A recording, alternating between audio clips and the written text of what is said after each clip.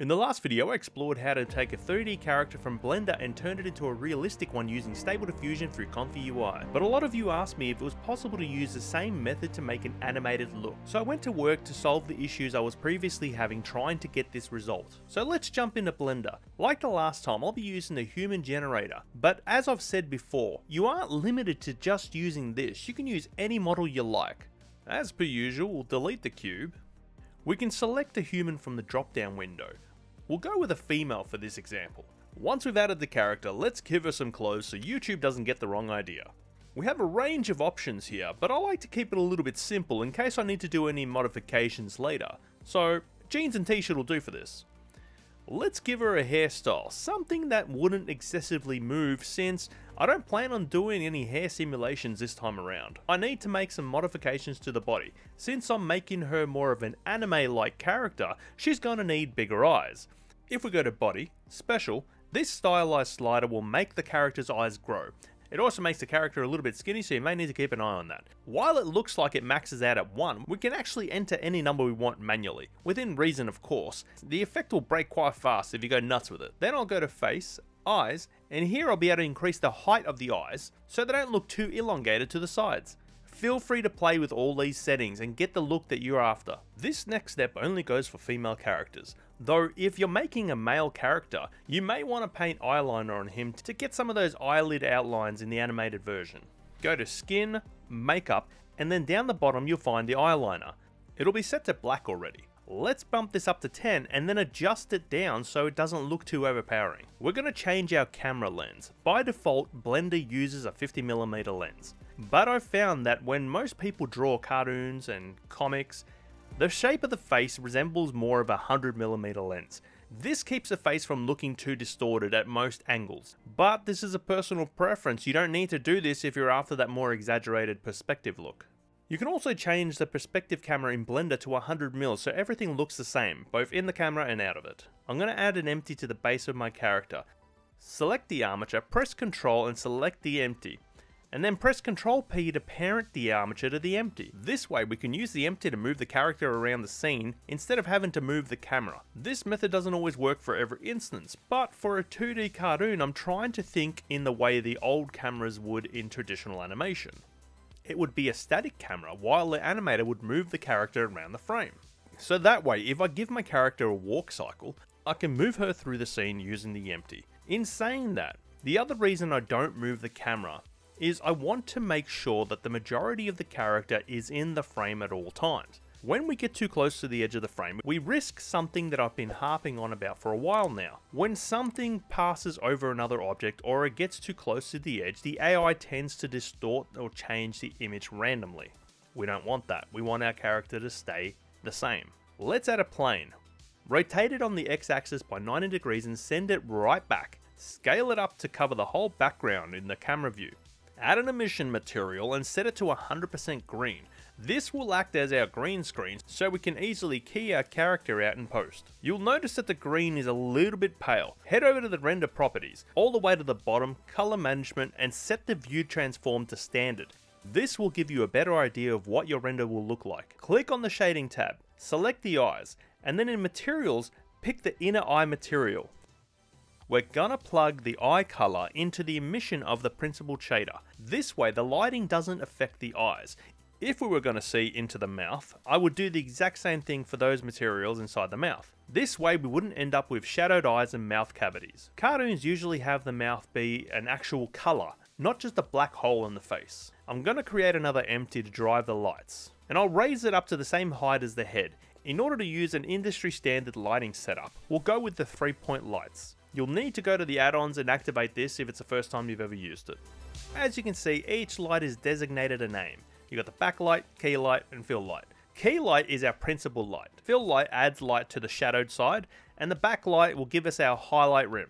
Because we had the empty selected, the lights are pointing towards it. Make sure to parent all three to that empty. Switch the render engine to cycles. Don't stress, it won't take hours to render this. Set the device to GPU and experimental feature set. This is going to give us a feature that isn't available in Eevee, but it's crucial for the cartoon look that we're after. Beam shape is the feature that I'm referring to.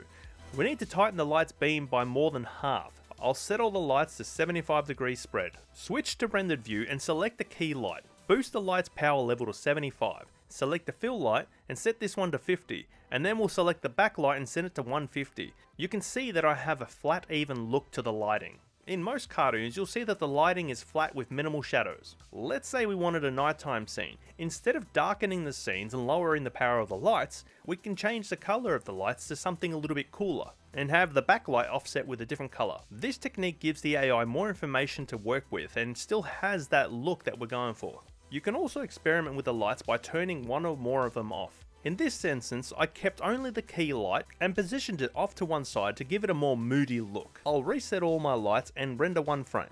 You can see that it took a minute and 20 seconds. This won't do. We'll waste too much time rendering in Blender. Head back to the render properties and change the noise threshold to 0.9 and the samples between 1024 and 2048. Now let's render the same frame. I'll leave this one going in real time. The quality of the render is more than enough for what we need and it's down to almost 9 seconds. You can drop that time even further if you go all the way down to 1024. The good thing about the human generator is that we can have it set up our Rigify rig automatically. This is going to take a moment. Once this finishes, we'll head to the object data properties under the bone collections and make the new rig visible. I'll create a small animation now using the auto keyframe function, jumping back and forth in the timeline. Animation isn't the easiest thing to get a hang of, and that brings me to the sponsor of this video. When learning new skills, it's easy to get lost in the sea of online tutorials. I would know, learning Blender took me a long time. I know what it feels like to not know where to start, but most times you'll watch a one hour tutorial just to walk away with one new tip with Skillshare's learning pathways, you have the option to go through carefully curated hand-picked lessons that build upon each other. Skillshare offers a variety of different classes, including but not limited to photography, graphic design, business, marketing, and music. For instance, the build 3D models and animation with Blender classes start off by showing you the basics so you understand the user interface, which, let's be honest, if it's the first time you're using Blender, it can be daunting. No offense to the Blender developers, I know they've come a long way trying to make it more user friendly. The awesome thing about this is that you can follow along with these lessons. Check out my render. I may have gotten a little carried away. And by the end of it, you can submit your results and get feedback. These lessons cover a range of experience levels from beginner all the way to advanced. It's never been a better time to invest in yourself by taking your skills to the next level. The best thing is that the first 500 people to use the link in this video's description will get a one month free trial to Skillshare. Check it out and let me know how you go. Now we can render out our animation. And if you guys want more in-depth tutorials on how I sculpted this t-shirt and made her muscles grow mid-shot, let me know in the comments. Before I forget, join my newsletter to get the companion PDF with the Comfy UI workflow that I'll be using. The link will be in the description. Load the new workflow in the companion PDF. If there's any red nodes, use the Comfy UI manager to install them. Once you're ready, add the directory of the image sequence you made. Make sure that the resolutions are correct. In my case, I'll be working with 1024 by 1024 images. Do not do this if you don't have a powerful GPU. I've got a 3090 with a lot of RAM in the computer. If you don't, don't go there.